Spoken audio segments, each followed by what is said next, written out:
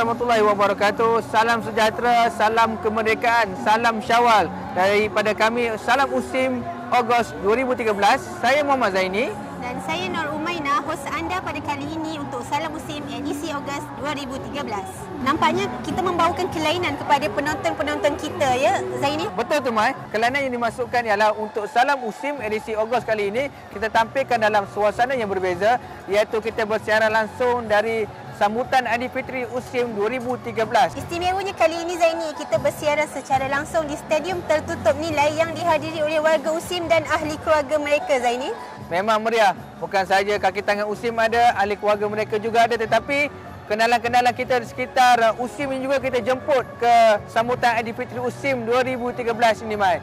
Walaupun kita bersiaran uh, dalam edisi istimewa iaitu Salam Usim edisi Merdeka Raya tetapi paparan-paparan menarik yang terdapat dalam Salam Usim masih kita kekalkan untuk kali ini. Ya betul tu Zaini. Nantikan paparan-paparan menarik yang berlangsung sepanjang bulan Ogos 2013. Selain program-program menarik kita bawakan juga segmen khas khas untuk anda.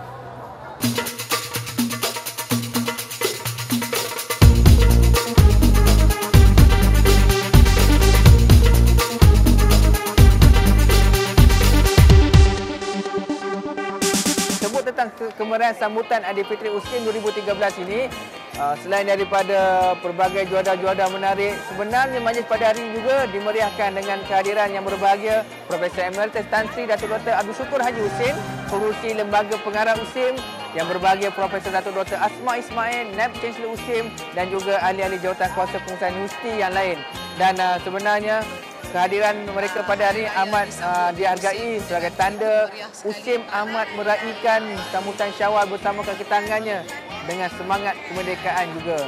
Terdapat 19 buah gerai makanan yang dihidangkan untuk warga Usim pada sambutan Aidilfitri pada kali ini. Dan uh, sebenarnya gerai-gerai ini bukan saja tujuan mereka untuk menyajikan makanan, sebenarnya mereka sambil menyajikan makanan, mereka juga bersaing sesama sendiri. Kita ada pertandingan gerai tercantik, kita juga ada pertandingan busana tercantik Aidilfitri. Gerai paling berpatriotik. Ya, betul Mai. Gerai paling popular sekali. Hmm. Sambil-sambil makan sebenarnya secara tersirat mereka bersaing dengan pesaing-pesaing di sebelah mereka Mai. Betul. Uh, kepada para anggota saya, uh, bahagian keselamatan yang bertugas pada Hari Raya. Selamat Hari Raya. Mak Azhar Dawatin dan saya uh, amat berterima kasih dan uh, mengucapkan syabas kerana uh, ketabahan untuk mereka menghadapi suasana Hari Raya. Uh, di samping tetap melaksanakan tugas dan tanggungjawab beliau kepada uh, universiti dan juga kepada negara. Uh, bagi saya sebenarnya semangat tu yang penting. Tak kira lah walau berapa kali dah pun kita merdeka, yang penting semangat tu kena ada. Kreatif warga musim kita ni. Mereka bukan sahaja bijak dalam pengurusan, malah mereka juga kreatif dan inovatif dalam menghiasi gerai mereka Zaini. Betul tu Mai. Sebenarnya dalam kesibukan mereka bekerja masih lagi dapat mencari masa untuk menghias gerai-gerai mereka mengikut tema kemerdekaan dan juga masih lagi menerapkan elemen semangat syawal itu. Sebut tentang uh, inovasi dan kreatif tadi Mai, sebenarnya ia ada kaitan dengan paparan kita selepas ini. Ya, betul tu. Jadi mari kita sama-sama saksikan. Kemeriahan Aidilfitri terus diserikan dengan majlis pelancaran sambutan Bulan Kemerdekaan USIM 2013 bertempat di Dewan Kuliah Pusat DKP3. Pelancaran ini telah dirasmikan oleh Naib Chancellor USIM yang berbahagia Profesor Datuk Dr. Asma Ismail, Ahli Pengurusan Tertinggi Universiti, pencarah, kaki tangan dan juga para pelajar USIM. Sambutan kemerdekaan Malaysia ke-56 bertemakan Malaysia ku berdaulat, tanah tumpahnya darahku peringkat USIM diisi dengan pelbagai pengisian patriotik sepanjang bulan September ini. Majlis pelancaran sambutan kemerdekaan ini dipengacarakan oleh personaliti TV3 Ahmad Fetri Yahya. Antara pengisian semasa majlis ini adalah dialog bersama Cik Siti Hanisah Syarudin, Ketua Pendaki Everest Felda 2013 yang berkongsi pengalaman dan kejayaan mendaki Gunung Everest. Pelancaran antologi lirik patriotik USIM 2013 oleh Yang Berbahagia Datuk Net Chancellor dan pelepasan Kayuhan Merdeka yang disertai oleh pelajar USIM kira-kira seramai lebih 30 orang. Baru-baru ini bertempat di Universiti Sains Malaysia Pulau Pinang, USIM telah berjaya menggondol tujuh pingat dan anugerah utama di Novel Research and Innovation Competition yang mana USIM telah mempertaruhkan tujuh projek dalam kategori Social Transformation and Creative Arts dan tiga produk dalam kategori Life Sciences. Kejayaan kontingen penyelidik muda USIM merangkul lima pingat gangsa, satu pingat perak dan satu pingat emas melalui produk Easy Jawi. Produk Easy Jawi juga dinobatkan sebagai pemenang anugerah produk bagi Social Impact Policy Award dengan membawa pulang wang tunai RM3,000 dan sijil penghargaan. Penyertaan sulung pelajar USIM dalam Community Research and Innovation Competition dengan produk IC iaitu penciptaan kompas kiblat bagi kegunaan insan yang cacat penglihatan juga amat dibanggakan apabila mendapat tempat ketiga Keceriaan kepada kontingen penyelidik muda USIM ini yang diketuai oleh pensyarah pengiring Profesor Madya Dr. Norita Mat Norwawi, Timbalan Dekan Fakulti Sains dan Teknologi, turut dikongsi bersama yang berbahagia Profesor Datuk Dr. Asma Ismail, Naik Chancellor USIM yang hadir pada malam tersebut.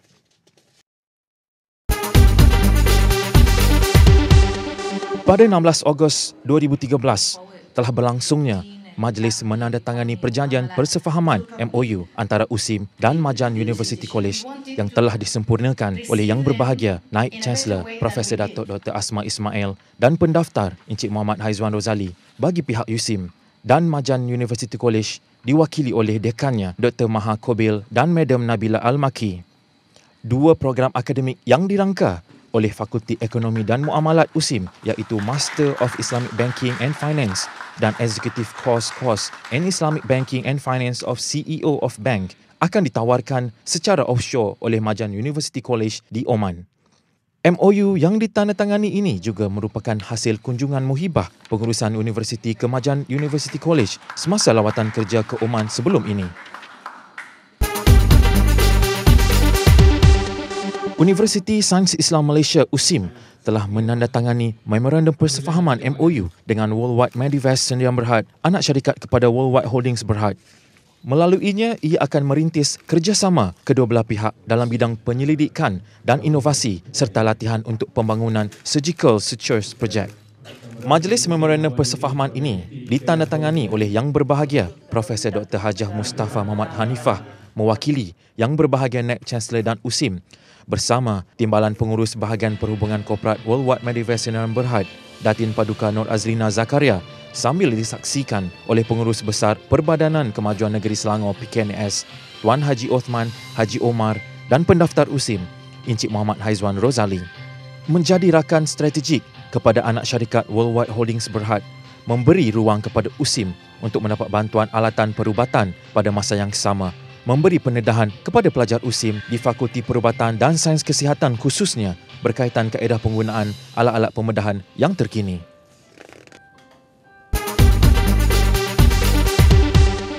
Dengan paparan sebentar tadi dapat kita lihat bahawa warga USIM semakin menunjukkan tarikhnya di persada pendidikan antarabangsa dan ini menunjukkan bahawa USIM yang menjadi sebuah IPT Islam yang menonjol bukan saja di peringkat tempatan malah di peringkat global sebenarnya Kamai. Betul tu Zaini. Walaupun usia USIM masih muda tapi USIM berjaya melahirkan ilmuwan yang berjaya bukan saja dalam pencapaiannya malah dalam akademiknya. Sebenarnya Syawal pada kali ini memberi kegembiraan berganda sebenarnya buat seorang insan penting di USIM iaitu kepada Dr. Nur Azira, pensyarah Fakulti Ekonomi dan Muamalat kerana baru-baru ini Dr. Nur Azira telah menerima anugerah Akademik Negara 2011-2012 daripada yang berbahagia, yang amat berhormat Timbalan Perdana Menteri Malaysia. Jadi untuk kita tahu lebih lanjut tentang anugerah Akademik Negara 2011-2012 ini, mari kita saksikan dalam segmen khas khas untuk anda. Tapi sebelum tu Zaini, Oh, ada lagi ya? Ya Zaini. Mari kita saksikan dulu paparan menarik yang berlangsung sepanjang bulan Ogos Terima kasih. 2013. Terima kasih Mai.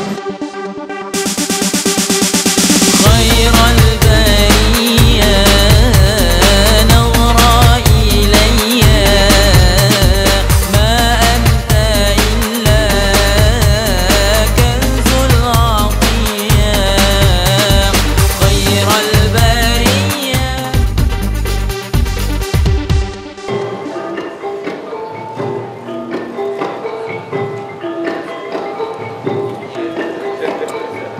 Melahirkan modal insan yang punya minda kelas pertama dan menjadikan Malaysia sebagai hub kecemerlangan pengajian tinggi antarabangsa. Setiap pemenang yang dipilih pada malam ini telah ditentukan menerusi beberapa siri penilaian dan pendebatan kritis oleh jawatan kuasa pemilih seramai 50 orang yang berwibawa daripada bidang akademia dan industri.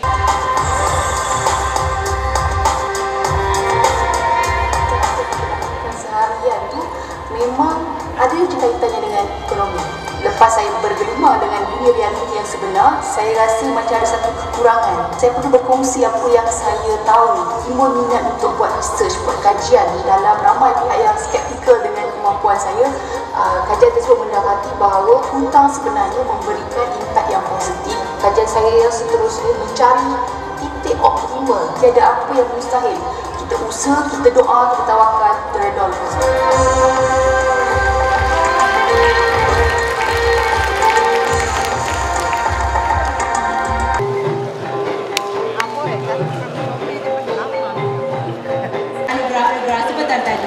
basically uh, saya pun tak jangka kemenangan atau uh, anugerah ni. Okay.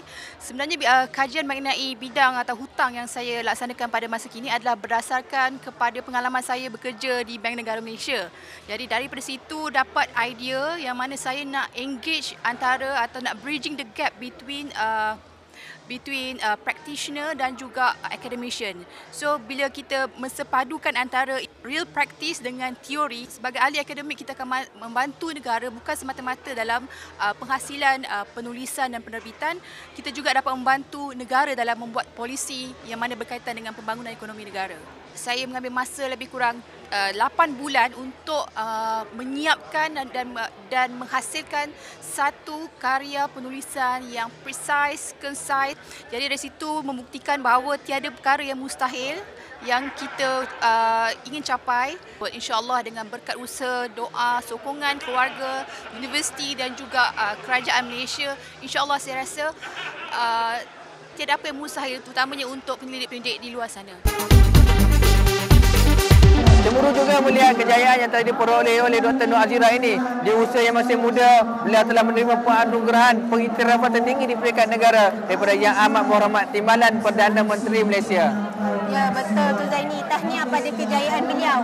Dengan itu marilah kita sama-sama motivasikan diri untuk meningkatkan kecemerlangan diri Zaini. Terus nantikan kemunculan Salam Usim bagi edisi seterusnya. Usim mempelopori Islam Memimpin keilmuan.